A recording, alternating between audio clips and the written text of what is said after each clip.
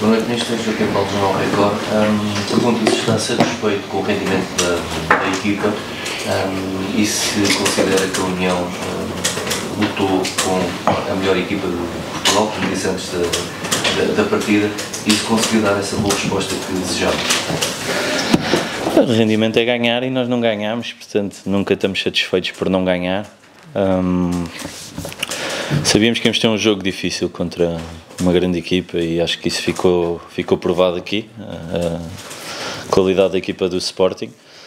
Um, tínhamos uma estratégia que sabíamos que estava muito condicionada por, por aquilo que não podíamos conceder ao Sporting, que era espaço nas nossas costas, e isso ficou provado logo no lance do segundo gol. Acho que foi o momento da, da, da, primeira parte onde tivemos a linha mais alta. O Sporting conseguiu logo explorar as costas e dar, e dar, dar um lance que deu gol na nossa baliza mas tenho que deixar uma palavra ao esforço dos atletas. Acho que eles foram incríveis na forma como respeitaram o plano de jogo, na forma como se entregaram, sendo difícil para nós, um, por não estarmos muito habituados a este, esta questão de, jogarmos duas vezes por semana. Mas, como eu disse anteriormente, é algo que nós nem pensamos, é bom sinal, é sinal que chegamos aqui. E, portanto, uma palavra para os atletas pelo esforço que tiveram e uma palavra, sem sombra de dúvidas, para aquilo que é a União de Leiria e para a vivacidade que demonstrou no dia de hoje, uh, dando provas claras que merece outros patamares e que eu não tenho a mais pequena dúvida que a curto e médio prazo irá atingir.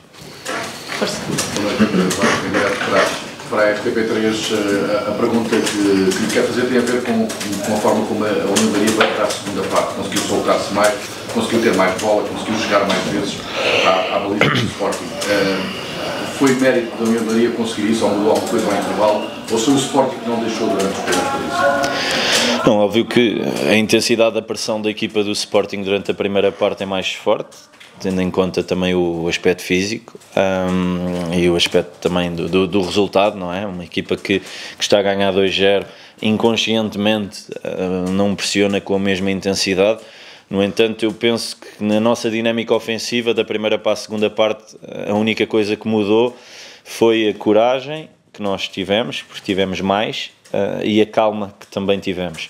Porque em termos de posicionamentos, nós tentámos uh, criar ali um terceiro jogador uh, juntamente com, com, com, o Diogo e com o Dávila, o Lucho, para criar a superioridade no meio campo do Sporting, nos dois jogadores do Sporting. E a verdade é que na primeira parte não conseguimos uh, jogar essa superioridade. Uh, por um lado por mérito da pressão do Sporting, mas por outro porque também fomos muito precipitados. Nós quando ganhámos a bola na primeira parte às vezes nem tínhamos condições para lançar e como sabíamos que tínhamos o Jair e o Jordan, que são jogadores rápidos e, e que nós os tínhamos preparados para, para sair em contra-ataque, quisemos explorar sempre e tivemos muito pouca calma para guardar a bola e circular, chamar a pressão do Sporting, porque o objetivo era esse. Nós sabíamos que o Sporting tinha tendência para igualar uh, os nossos jogadores a campo inteiro. E portanto nós quando colocamos um sétimo jogador uh, mais baixo estamos a chamar uh, toda a linha do Sporting ou pelo menos mais um jogador. O Sporting se quiser pressionar a igualdade numérica teria que deixar 2 para 2 e independentemente do, do, do, do, grande valor dos centrais do Sporting 2 para 2 com o Jair e com o Jordan acho que é sempre arriscado o Sporting acabou por não fazer isso e deu-nos a tal superioridade no meio que nós quisemos explorar e eu penso que a grande diferença da primeira para a segunda parte foi essa, foi nós termos tido mais coragem e mais capacidade para, para achar esse jogador livre que acabou por bater a pressão do Sporting na segunda parte. Posso? O Vasco, boa noite, Eduardo Praza Marcos, na bola. Uh, há um lance em que o Vasco não é assim tão expansivo quanto isso durante os jogos, mas fica claramente de, de mãos na cabeça, logo a abrir a segunda parte daquela perdida do Jair.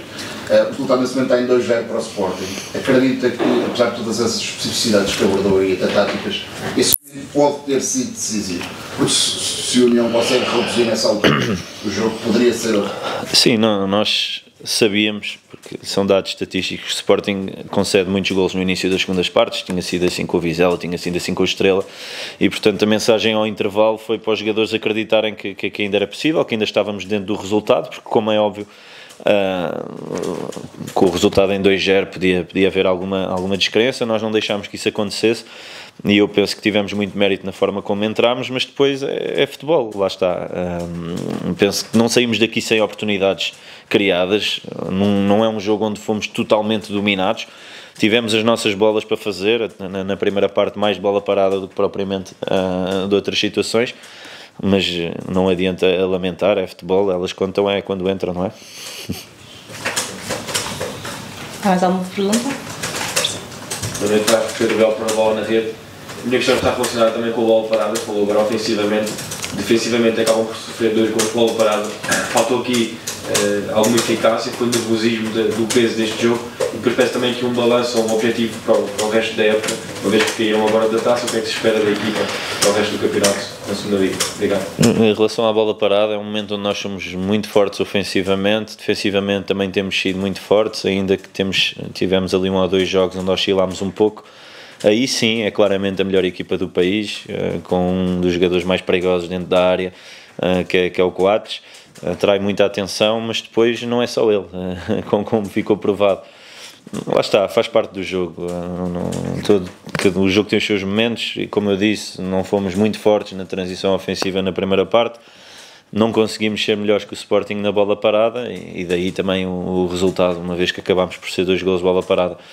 Mas lá está, é trabalhar para ser melhores. E, em relação à, à, à segunda pergunta, nós, eu disse tínhamos de ter um grande desafio, que era mostrar que estávamos preparados enquanto clube, enquanto equipa técnica, enquanto plantel uh, para, para uma segunda liga, que é completamente diferente, campeonato profissional, equipas muito experientes, clubes que tinham anos e anos e anos de primeira liga e portanto uma nova realidade para todos nós. E estamos todos em aprendizagem.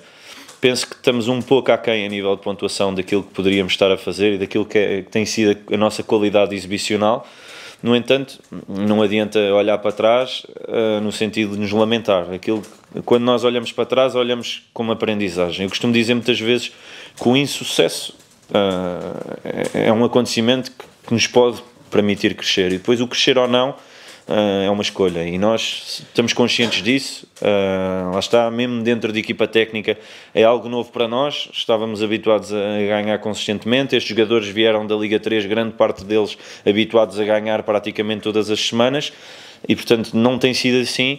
Mas eu penso que temos claramente que olhar para, para os lugares cimeiros da tabela no sentido de termos ambição por acreditarmos que, que, temos valor para nos bater com qualquer equipa. E esse acaba por ser também um pouco a nossa grande frustração, que é olharmos para os jogos e percebemos que, tirando o jogo do Mafra, onde fomos claramente dominados e claramente inferiores, em nenhum dos outros jogos, jogos nós fomos claramente inferiores aos nossos adversários, e nesse sentido olhamos para esta segunda volta com muito mais otimismo, muito mais preparados e muito mais capazes de, de ter resultados diferentes e, e uma melhor pontuação. Obrigado, noite. Obrigado, noite.